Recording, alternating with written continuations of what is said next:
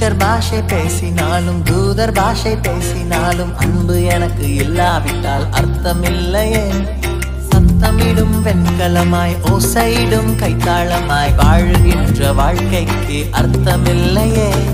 தீர்க்கமான தரிசனங்கள் ஆழமான ரகசியங்கள் அன்பு எல்லா காரணத்தால் அற்பமாகுமே. அறிவு கலந்த வார்த்தைகளும் மலை பெயர்க்கும் விசுவாசமும் அன்பு எனக்கு இல்லாவிட்டால் அர்த்தம் அர்த்தமில்லையே அன்பு ஒழியாது என்றும் அழியாது.